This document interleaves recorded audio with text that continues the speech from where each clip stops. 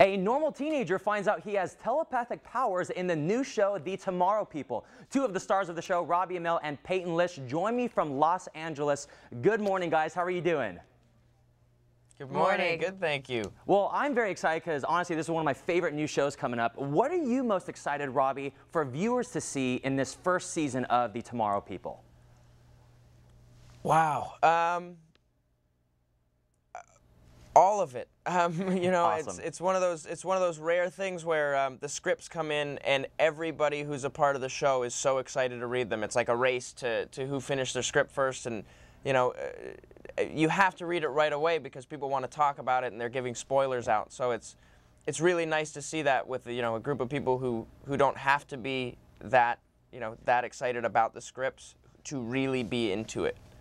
Awesome. Now, Peyton, what would you say sets the Tomorrow People apart from other sci-fi shows? Uh, I think we have we've created our our own sort of world. I think in every sci-fi show you have uh, you have what you accept as like the reality. Um, and our show it it feels very based in reality, as if these powers really could be some people could actually have them, and um, and the circumstances that that have arisen because of people having them. I think uh, I think it's very it's sort of believable if you, if you just yeah. make the commitment, and it's. Uh, it's an incredibly interesting um, world with with uh, specific obstacles uh, that are uh, challenging but fun. Yeah. It is believable. I mean, the graphics look awesome, so thank you guys for putting out a good show like that. Now, in the show, we learn about the four T powers, telekinesis, telepathy, teleport teleportation, and time, but I gotta ask you, which one would you give each other and why? Robbie, you can go first. which one would we give each other? Yes. Oh. Uh, well, I know what Peyton, I know the power that she would want, so I would give her tel uh, teleportation. Awesome. What about we've, you, Peyton? We've had a lot of discussions on set. Well, I guess if he's going to be nice, then I should give him the one he wants, yeah. which is Don't teleportation. Don't you dare give me telepathy. well, I wouldn't want you to be able to read my mind. I don't want to be able to read people's minds. no. I want to, you know, nobody thinks nice things about you all the time. Right. That that might not be a great power to have. Now, obviously, you guys Plus, have a chemistry. people are weird. Yeah, they you are. want to know. Now, you guys have great chemistry right now, and in the show, we kind of see this love triangle begin to form. How is that going to develop the rest of the season?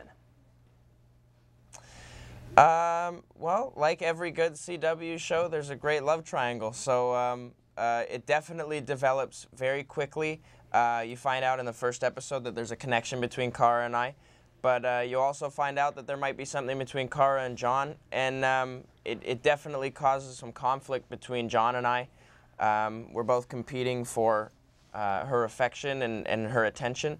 And um, I can't tell you much more than that because right. I'll have my hand slapped. awesome. I get it. Now, I have to ask um, Robbie that obviously on Wednesday nights, it's Amell Days, and you're joining your cousin Stephen Amell over on Arrow. In real life, even with your powers, who would win in a fight, you or Stephen Amell?